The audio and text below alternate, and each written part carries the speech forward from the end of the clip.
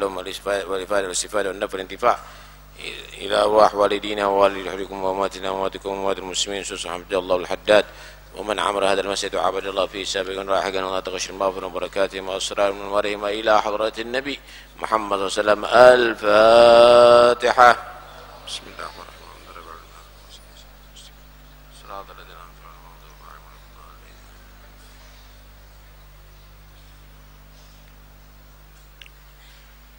Bismillah walhamdulillah wassalatu wassalamu ala rasulillah sayyidina wa maulana Muhammad bin Abdullah wa ala alihi wa sahbihi wa man walah qala al-musannif rahimahullah wa nafa'na bihi wa bi'ulumihi fid dharain amin. Wa alam anna al-muharramati kisman. Ahaduhuma syai'un muharramun di ainihi kal maitati wad dami wal khamri wa nahwi dhalik. Wa hadha an-na'u وهو توقف توقف بقاء النفس المحترمة على تناوله مع فقدان غيره. والثاني حلال في نفسه كالحنطة والماء الطاهر. ولكنه مملوك لغيرك فلا يزال محرما عليك حتى يسير إليك من وجه سائغ في الشرع كالبيع والهبة والإرث ونحو ذلك. وأما الشبهات فهي درجات. فمنها ما تيقن تحريمه وشك في حله وهذه الشبه حكمها شبه؟ وهذه الشبه حكمها حكم الحرام. ومنها ما تيقن حله وشك في تحريمه وهذه الشبه تركها من الوراء. ومنها ما هو بين ذلك كالذي يحتمل أن يكون حلالا ويحتمل أن يكون حراما.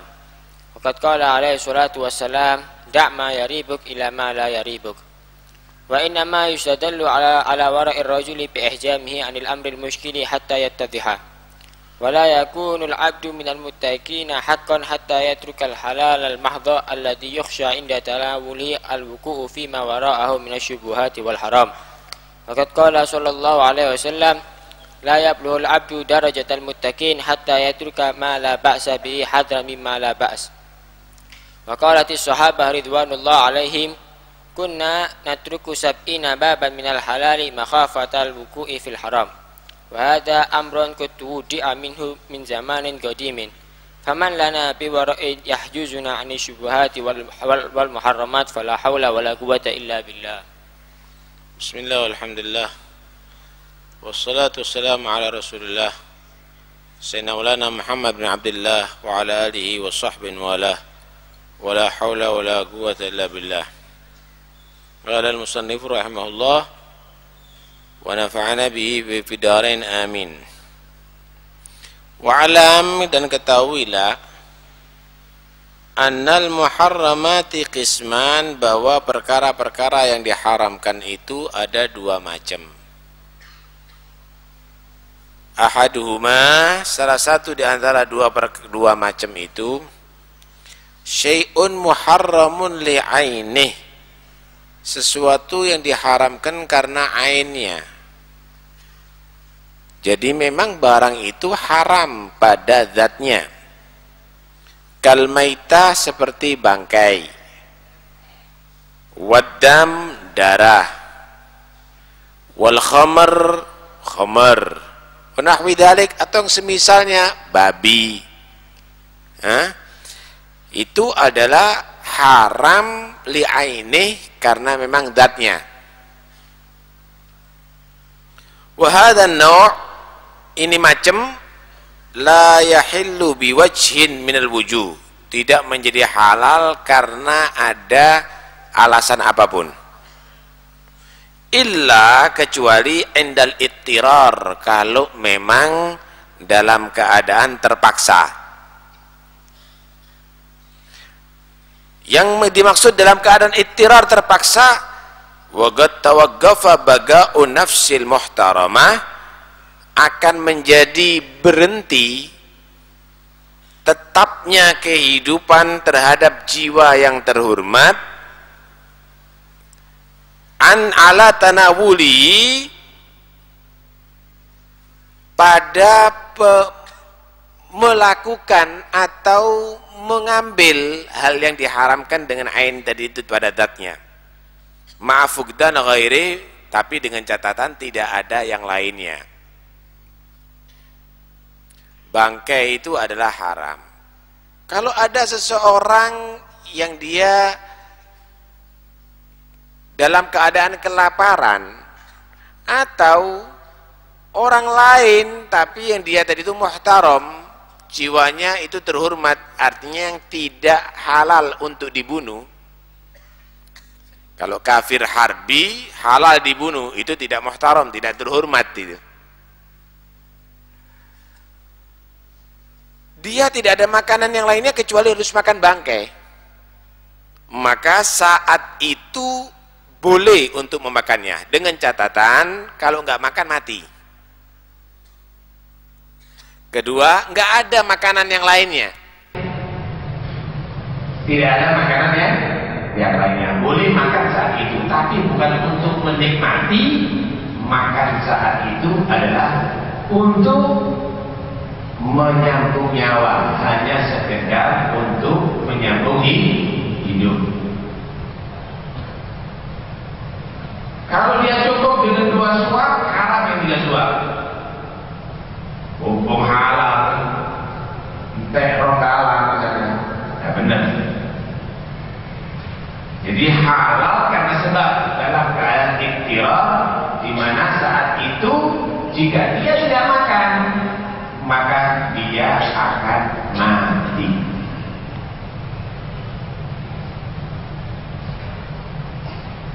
Darah misalnya, darah tak boleh haram. Tapi karena saat itu dibutuhkan, diperlukan, kalau tidak, dia bisa bahaya, bisa mengantarkan kepada kematian. Maka boleh. Tapi seandainya ada dengan cara yang lainnya, maka tidak boleh dengan cara itu. Oh, dengan cara yang lainnya biayanya terlalu gede, kita nggak ada duit. Ya udah, seperti tidak ada berarti yang lainnya. Wah supaya lebih murah aja, nggak bisa begitu. Ya berarti kamu harus mengeluarkan duitnya kamu. Tidak boleh kamu harus mempertahankan duit kamu sampai kamu memakan yang halal. Hmm. Dan ini menurut madhab syafi'i Selain yang datang nas, selain yang datang itu keterangan dari Al-Quran Hadis dibagi empat. Jika itu hewan darat, maka hewan tadi itu yang mempunyai taring untuk memangsa, taring untuk memangsa. Atau yang menjijikan seperti rayap, semut, kecot, laron, uget-uget, sek, itu semuanya menjijikan. Segala yang menjijikan itu haram. Walaupun itu yang ada pada diri kita. Ludah yang di mulut kita ini suci, kita telan boleh. Tapi kalau sudah keluar dari mulut kita, kita masukkan lagi haram hukumnya, menjijikan. Faham nih? Nah, karena itu segala yang menjijikan itu hukumnya haram. Kemudian kenapa? Karena Allah berfirman kulu minat thayyibat, makan yang baik-baik, berarti bukan menjijikan begitu. Kalau itu hewan udara maka jika mempunyai cakar untuk memangsa seperti elang garuda apalagi itu mempunyai cakar untuk memang memangsa kemudian kalau hewan laut kalau hewan air yaitu yang hidup di dua alam. Hidup di dua alam. Maksudnya hidup di dua alam bukan berarti kuat hidup di darat. Yang dimaksud hidup di dua alam itu yaitu kehidupannya di air sama kehidupannya di darat sama. Misal Kata itu di dalam air satu minggu, di luar air satu minggu juga bisa. Mencari apa? Mencari makanan di air, mencari makanan di luar air juga bisa. Kehidupannya sama. Buaya juga begitu. Ular juga begitu. Tapi misalnya ada ikan lele misalnya, dia dua jam masih kuat hidup berarti itu bukan kehidupannya sama dengan di dalam air dan di darat tapi bertahan hidupnya kuat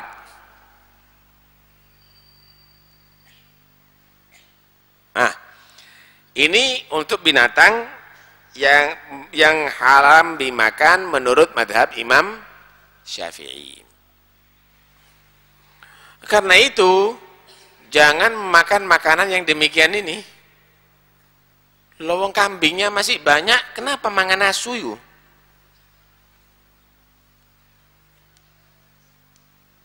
lowong ayamnya masih banyak makan bekecot kamu itu. Ini nggak benar. Ah karena itu udahlah tinggalkan makanan-makanan yang tidak demikian tadi makan makanan yang tidak jelas hal, apa halalnya tadi itu makan makanan yang halal Allah subhanahu wa ta'ala tidak mengurangi jatahnya kamu kok. Sebelum kamu hidup udah diciptakan itu. Keperluan dan kebutuhan makan kamu. Baik. Wasani yang kedua. Halalun fi nafsi. Halal pada datnya. Halal memang, datnya halal. Kalhintoh seperti gandum, halal. Wal ma'id tahir air yang suci halal. Kecuali kalau air yang najis. Kenapa? Air satu gelas dicampur uyu najis diminum haram hukumnya. Air yang suci. Walakinnahu mamluk. Tetapi ini yang haram ini ya halal pada datnya tapi milik li orang lain, orang selain kamu, milik orang lain. Air milik orang lain, roti milik orang lain, sate kambing milik orang lain. Fala yazalu maka menjadi haram alaika bagimu hatta yasira ilaik sehingga menjadi kepadamu pada kamu sampai kepada kamu min wajhin sa'ir dengan cara yang patut. Fisyar'i dalam hukum syari syariat. Kalbe seperti jual beli. Ini sate milik orang lain air milik orang lain kamu beli. Ya berarti halal bagi kamu wal hibati atau dikasihkan kepada kamu. Ya berarti menjadi halal bagi, kamu. Wal irsi atau misalnya orang tuanya meninggal dia menjadi pewarisnya. Ya berarti halal bagi di bagi dia. Wa nahwi yang penting dengan cara yang patut. Ini kan halal ayam ini. Ya berarti tak ambil. Tak makan. Do caranya kamu yang membuat haram bukan dagingnya menjadi haram tapi caranya kamu yang menyebabkan ha haram Minta. Bukan al nyolongu. Tidak boleh diambil alih kecuali dengan cara yang pa yang patut begitu.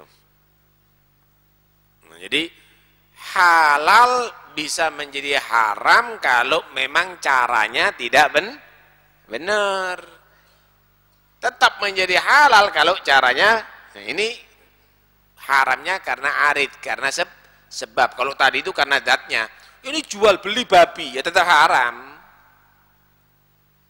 Jual beli khomer ya tetap haram tidak bisa menjadi halal. Jual beli ayam ya tetap halal ayam kan halal dicuri haram haram karena se sebab haram karena sebab karena itu hati-hati Hah? hati-hati.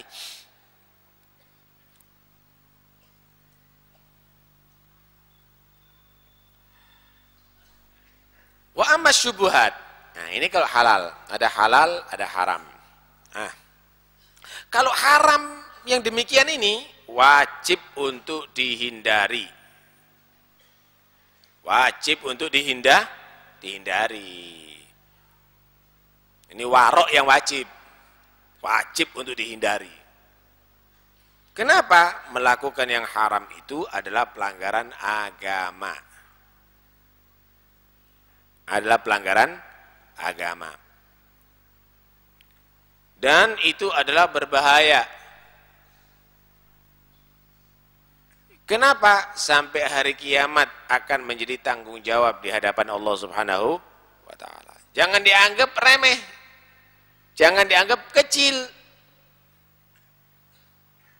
Ma Allah itu Maha Adil. Yang kecil itu pun akan ditampakkan nanti. Apakah menjadi bagian pahala atau menjadi bagian dosa. Man ya'mal mithqala dzarratin khairai yarah Wa may ya'mal mithqala dzarratin syarrai yarah. Siapa orang yang beramal seberat debu pun kebaikan, dia akan menyaksikan ganjaran yang Allah berikan karena kebaikannya walaupun seberat debu.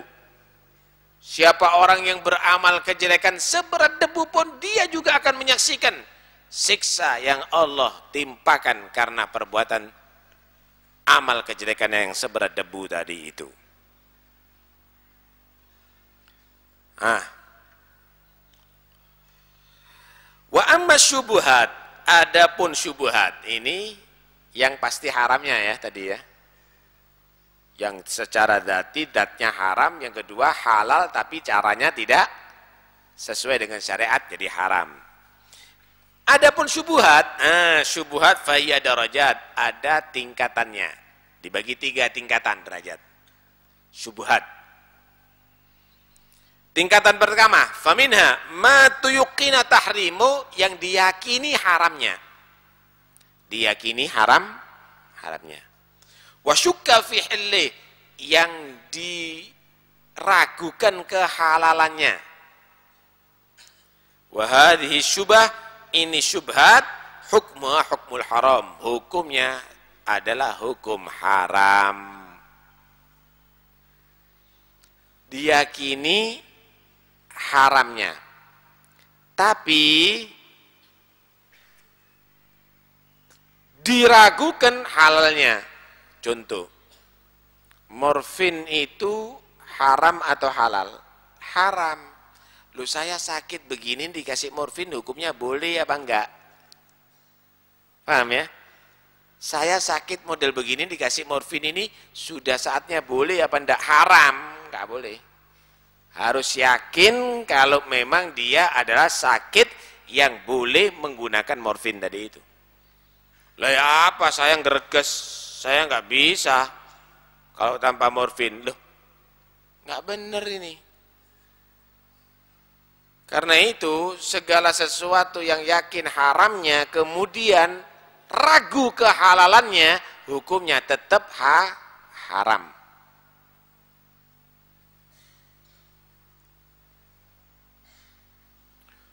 Ini semua ini dicampuri dengan apa namanya e, vaksin babi misalnya. Kalau memang iya dicampuri dengan vaksin babi. Tapi yang bisa membuat orang tadi itu supaya mematikan uh, penyakit itu, penyakit ini adalah vaksin daripada babi. Apakah dia tadi itu harus mematikan itu dengan vaksin babi dan saat itu dia dalam keadaan terpaksa harus pakai vaksin babi. Dia ragu, vaksin babinya udah jelas haramnya. Haram hukumnya, nggak boleh. Jangan dikatakan itiror itu. Kenapa? Ini bagian ma tuyuqina tahrimu wa fi hilli. Ini bagian yang diyakini haramnya kemudian ragu dalam halal halalnya. Karena itu jangan asal pakai dalil indal itiror indal itiror dok. Itiror yang pasti. Jangan itiror yang diada-adakan yang dipaksa-paksakan itu tidak benar. Lah terus gimana kalau tidak haji? Nggak usah haji dulu. Kalau harus melakukan yang haram, kalau memang itu vaksin ba babi. Eh? Kenapa? Karena tidak bisa Anda melaksanakan haji dengan harus makan haram. Sama aja dengan kalau tidak makan babi, tidak boleh haji. Loh enak, nggak bisa begitu. Nah, kenapa umat Islam mau patuh dengan cara yang demikian itu tidak benar? Kalaupun itu benar, tapi Allah alam benar apa tidak, tidak tahu sudah kita. Taib. Wa minha. Di antaranya yang syubhat yang kedua, ma tuyukina hilluh yang diyakini halalnya wa tahrimih dan diragukan dalam haramnya yakin halal tapi diragukan haram haramnya. Wahadi syubah ini syubhat tarkuha minal warok meninggalkannya adalah bagian daripada wa warok contoh ayam daging ayam itu adalah hukumnya ha halal. Tapi di warung orang kafir lo yang nyembelih ya apa? Yakin halalnya tapi ragu di dalam ha haram haramnya. Lalu kalau yang menyembelih orang kafir bukan orang Islam, itu haram ini. Paham ya? Lah itu ya apa? Itu juga jualan daging babi. Lah kalau satu wajahnya apa? Tarkuha minal warok tinggalkan. Jangan makan di situ. Jadi wong Islam ojo nyonyo. Warungnya umat Islam banyak, cari warungnya orang kafir. Untuk rapat, untuk itu. Cari warungnya umat Islam juga banyak yang lezat kok. Kenapa harus cari warungnya orang kafir begitu? Merek juga begitu, hati-hati Anda. Cari yang warungnya, produknya umat Islam kalau perlu. Kenapa? Dikhawatirkan ini tadi memang tidak dinyatakan hukumnya haram. Memang tidak dinyatakan hukumnya ha? Haram. Tapi diragukan kena haram. Yakin halalnya tapi diragukan kena halal. Ini rambak anu kok, rambak sapi kok. Ya halal. Cuma kiriman Australia. Kiriman dari Australia Australia, usah cuma mangan rambak, kerupuk buli mari.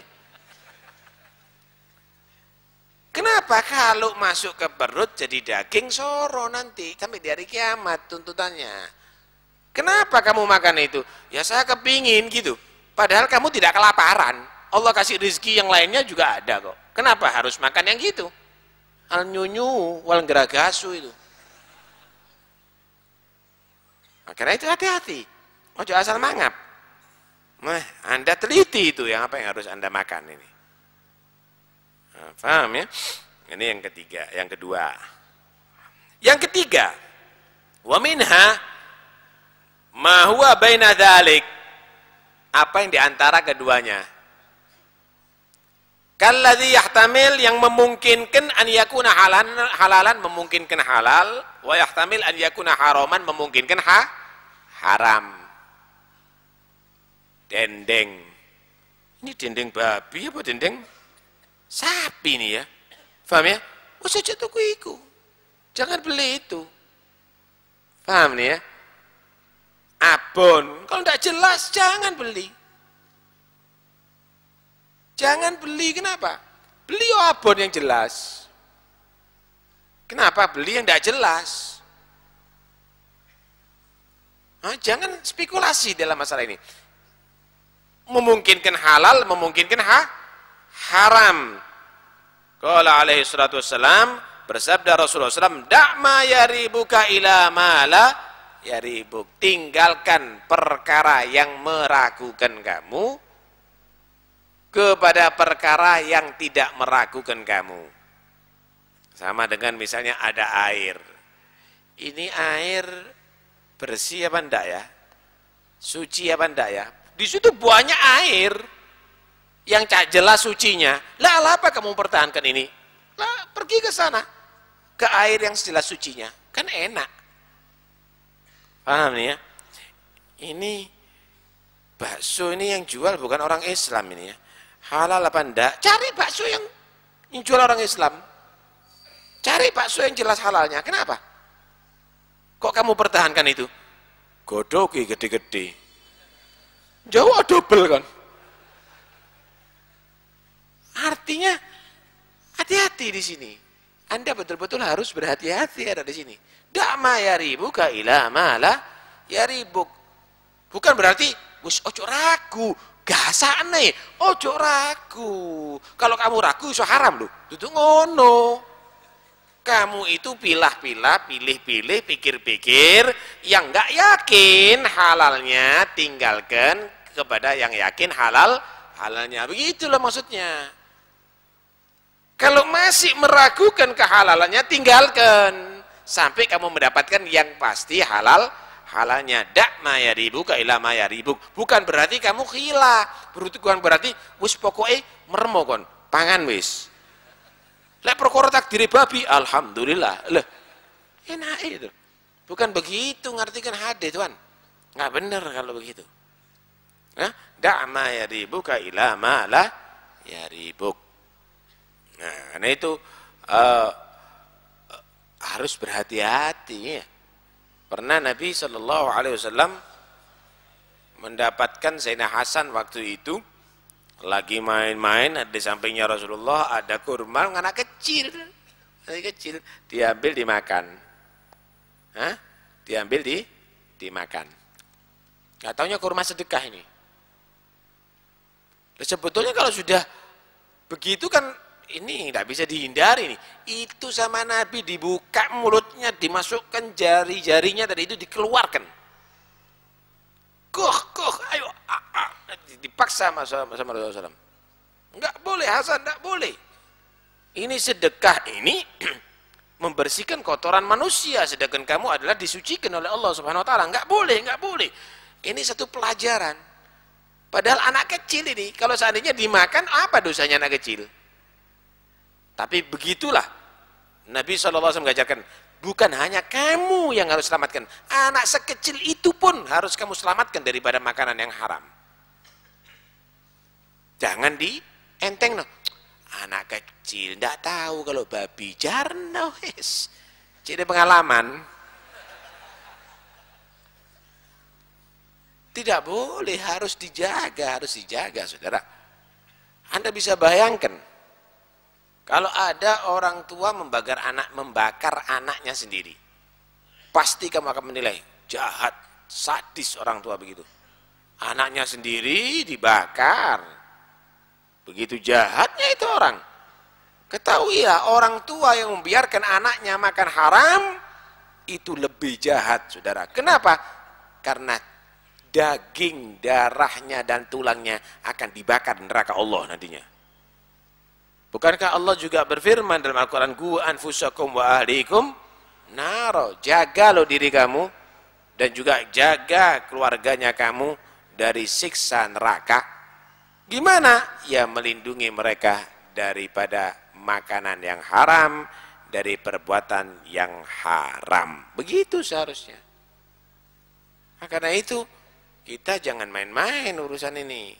Betul-betul kita seleksi Betul-betul kita filter. Jangan asal seperti jorongan aja siap terima. Hah? itu nggak benar itu.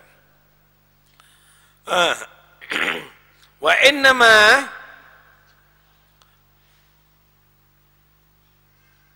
yustadallu ala wara'ir rajul bi ihjami anil amril muskil hatta yattadih yang bisa dibuat dalil menjadi bukti, dibuat bukti bahwa orang ini warok apa enggak? Kalau orang itu berhenti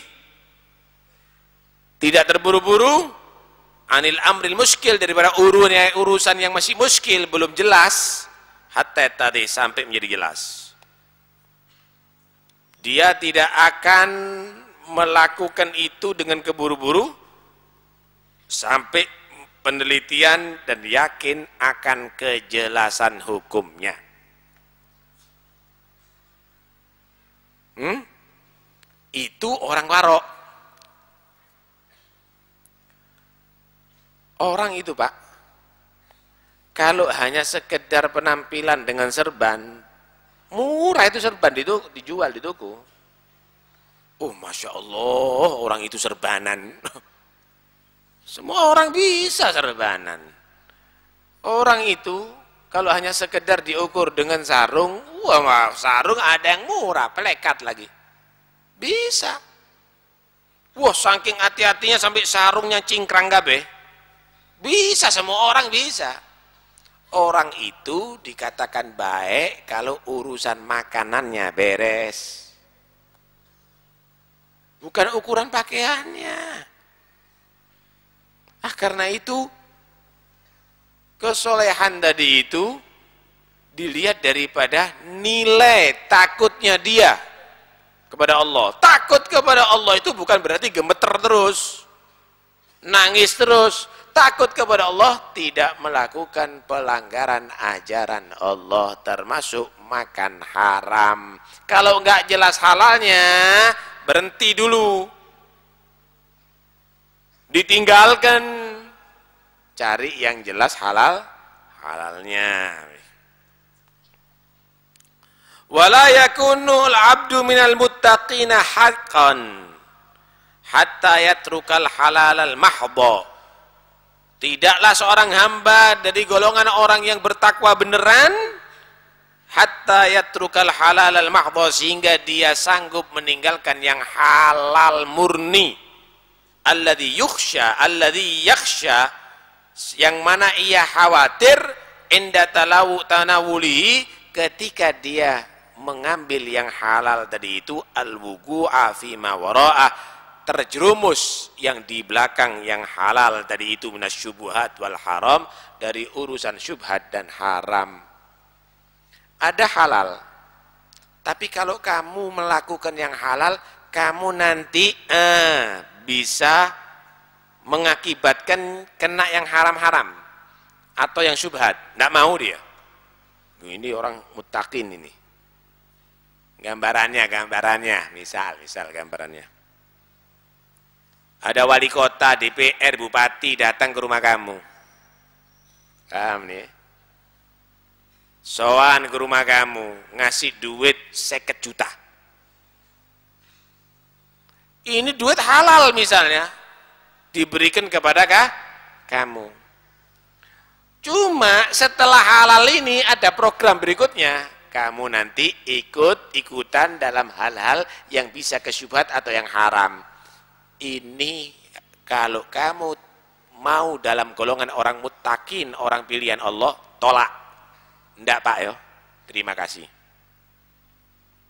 Kenapa kamu harus meninggalkan yang jelas halalnya kalau ada kekhawatiran di belakang itu bisa menghantarkan kamu kepada syubuhat atau yang haram.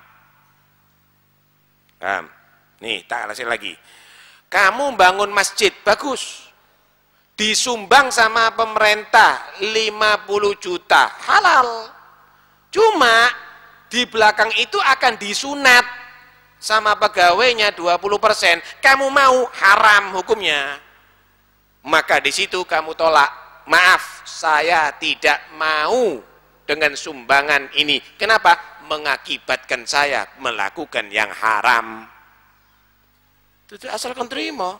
Wis pokok niatku api. Tak niatmu dah api bisa. Kalau membiak haram niat api. Tidak benar begitu. Lah kan bukan saya yang nyunat, kamu kan juga mengizini. Kamu kan juga mengizini, Pak merestui yang haram, walaupun tidak berbuat haram, itu sama haramnya. Nih misal, misal, nah, sampean setuju dengan diskotik, walaupun sampai tidak masuk diskotik, dosa sampean. Dosa Anda. Kenapa? Anda juga setuju dengan adanya diskotik. Nah, karena itu di sini kita harus paham bahwa bukan berarti orang yang mutakin yang penting untuk halal yang menghantarkan kamu dari halal bisa ke syubhat atau yang haram bisa bahaya itu karena itu orang mukmin yang sejati yang bertakwa kepada Allah dia akan menolak yang halal jika mengkhawatirkan akan bisa terjerumus dalam syubhat atau yang haram sesuai dengan sabda Nabi la yablughul abdu darajatal muttaqina hatta yatruka ma la ba'sa bihi hadaram mimma bihi ba's tidak akan mencapai seorang hamba derajatnya orang-orang yang bertakwa sehingga dia meninggalkan yang tidak haram yang tidak dilarang tapi khawatir akan bisa melakukan yang haram atau yang dilarang. Tinggal no karena itu kita jangan asal-asalan di sini. Orang itu kalau keburu-buru kejerumus pak. Keburu-buru nyetir tabrakan loh yang hati-hati kalau nyetir keburu-buru masak, tarak tanganmu sing kegoreng kok. Yang hati-hati kalau masak. Keburu-buru kamu tadi itu bakar, kamu yang terbakar nanti. Jangan keburu-buru, yang hati-hati. Ini urusan bahaya. Urusan makanan yang hati-hati. Jangan keburu-buru kepingin pondoknya gede. Segala cara. Lap, lap, lap, lebay. Jangan keburu-buru pekerjaannya supaya gede. Segala cara Hati-hati, hati-hati. Kenapa? Khawatir kena syubhat, khawatir kena haram, akhirnya jadi malapetaka. Kemarin kan sudah diterangkan, bagaimana ketika Allah ngasih berkah kepada seseorang, akan dirasakan sampai tujuh turunan. Ketika Allah mencabut berkah, kesialan itu akan bisa dirasakan sampai tujuh turunan. Jangan sampai itu semuanya terjadi pada keluarga kita seakan anaknya. Kakeknya yang ketujuh yang berbuat, anak cucunya sampai ketujuh yang merasakan nantinya. Wa qalatis sahabah radhiyallahu ridwanullah alaihim berkata para sahabat ridwanullah alaihim, kunna natruku sab'ina baban minal halal. Kami para sahabat dididik sama Nabi meninggalkan 70 pintu daripada perkara yang halal. Makhafatal wugu fil haram karena khawatir terjerumus dalam perbuatan haram. Halal halal halal. Tinggal no tinggal no tinggal no. Khawatir kalau haram. Ya bukan berarti harus kelaparan bukan. Maksudnya di sini kalau ada ini halal apa enggak banyu halal kok. Kenapa harus minum minuman yang belum tentu halalnya tapi kalau sudah jelas halal, ya ojo dole-dole, iya. Nah, itu was-was namanya. Nah, kami meninggalkan 70 pintu halal karena khawatir terjerumus dalam perbuatan yang haram. Wada amrun gottuwuddi aminhu min zamanin godim. Ini ini warok yang model begini nih. Cara yang demikian ini udah ditinggalkan sama umat Islam sudah zaman dulu. Sudah zaman dulu. Ini sahabat. Hah? Faman lana biwara'in yahjuzuna minasyubuhat wal muharramat. Maka siapa? Siapa? Yang kita andalkan sekarang siapa? Warok yang menga, yang bisa menghindarkan kita daripada syubhat dan haram siapa? Yang haram aja doyan apalagi yang syubhat fala haula wala quwata illa billah. Karena itu dikatakan Allah haddad hada zamanul ladzi yuhaddiruhu. Inilah zaman hada zaman ladzi amal haramu fihi min ghairi masyakkin wala jadali. Inilah zaman yang sudah umum rata haram ini. Dan di haram itu. Urusan sama siapa aja melpunya yang haram ah. repot untuk menghindar ini zaman yang sudah diwanti-wanti, dikhawatirkan oleh orang-orang aulia Allah. Ya ini zaman. Sampai dikatakan, La tagemusa hatta la yabqa fihi illa akulur riba. Fa illam yakulhu asabahu min ubari. akan datang satu zaman tidak ada orang yang hidup di zaman itu kecuali pemakan riba. Padahal pemakan riba itu kata Rasulullah, "Ar-riba bid'un wa sab'una baban adnaha mithil ayati ar-rajul ummah." Riba itu 70 macam lebih. Minimalnya paling jeleknya, paling rendahnya, minimalnya seperti orang zina sama ibunya sendiri. Tidak ada yang hidup di zaman itu kecuali pemakan riba. Kalaupun nggak makan riba, kena debu-debunya. Si guru ini ditegur sama beberapa orang. Loh kalau gitu Anda juga termasuk dong. Karena hidup ada di zaman itu. Kemudian guru tadi menyatakan, apakah disamakan orang yang makan dengan menikmati dan memperbesar suapannya karena lahap dengan orang yang makan dengan menangis karena khawatir ya Allah maafkan aku makan ini karena terpaksa tidak ada makanan yang lainnya. Sambil dia beristighfar mohon ampun kepada Allah. Karena itu singa kayak istighfar sampean. Masih halal astagfirullahaladzim mudah-mudahan ini tidak menjadi hisab dan menjadi adab nanti di hari kiamat. Kenapa? Karena begitu semuanya, dia no muamalah urusan yang tidak melalui bank saya Lah bank ini pabrik riba. Karena itu mudah-mudahan Allah ampuni semua dosa kita. Eh? Hadirin sekalian rahmatillah Allah, insyaallah Jum'ah malam Sabtu yang akan datang Al Habib Salim bin Abdullah bin Umar Syatiri akan hadir ada di majelis ini. Tapi saya minta ojo rebutan salaman. Habib Salim sudah tua sepuh, tidak usah salaman. Nah, dengarkan baik-baik ceramahnya, kemudian sholat berjamaah, jangan rebutan salaman supaya tertib. Nah, nanti setelah majlis talim akan ziarah bersama. Anda bisa umumkan kepada yang lainnya, bisa hadir, tapi tanpa bersalaman karena beliau sepuh, masih Alhamdulillah bisa datang dan bisa memberikan manfaat kepada kita semuanya. Wallahu alam al-fatihah.